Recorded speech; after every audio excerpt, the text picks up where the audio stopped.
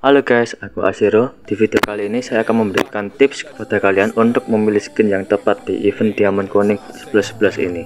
Khususnya buat kalian yang suka ngikutin event top up Diamond. Kalian yang suka ngikutin event top up top up gitu ya. Yang kayak event Transformer, event aspiran dan lain-lain sebagainya. Yang biasanya itu event spin ke 10 kali dijamin epic. tahu kan ya? Tapi ketika sudah melakukan top up terus coba gacha, eh dapatnya epic yang sudah punya dan akhirnya pecah.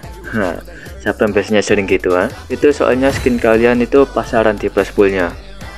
Pasaran gimana bang maksudnya? Pasaran itu maksudnya sering muncul di plus pool gacha. Tentunya kayak epic squad saber epic squad venom dragon tamer lightborn. Terus gimana bang? Oleh karena itu simak video ini baik-baik saya akan memberitahukan kalian list skin yang jarang ada di price pool gacha ini ya tapi bang kalau gue gak pernah ngikut event top top gitu gimana bang? Hmm ya udah kalian ikut semua aja videonya ya nggak apa-apa. Kalian bisa share video ini ke teman kalian yang bisa yang biasanya hobinya buntung ya.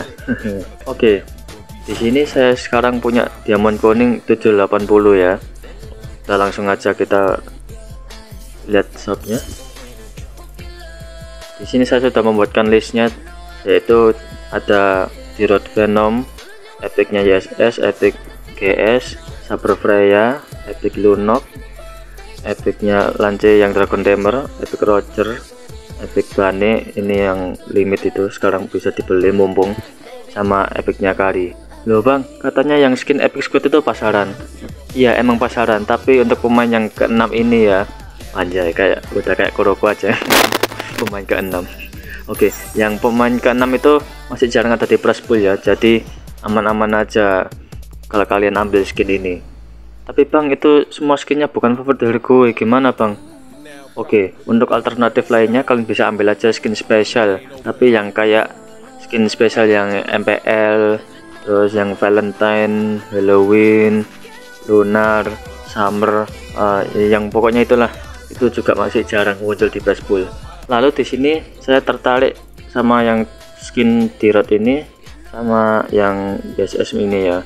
Kalau yang GS ini saya sudah punya Venomnya saber Freya ini uh, enggak dulu dah.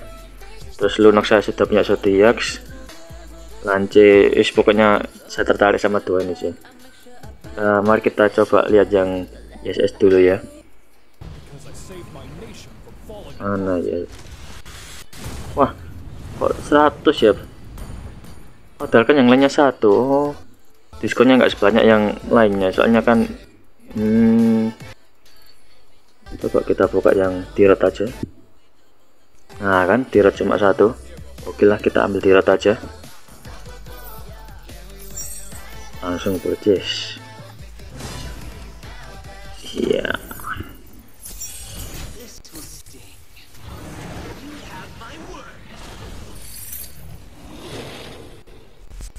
Oke okay guys, terima kasih telah menonton video ini. Dan ini semua kembali lagi ke kalian semua ya. Kalian bolehlah ngambil skin apa pun yang kalian suka. Saya tidak memaksakan kalian harus mengikuti yang saya katakan ya. Di sini saya cuma memberitahukan saja agar memilih skin yang tepat. Oke, sekian. Terima kasih. Sampai jumpa di video berikutnya.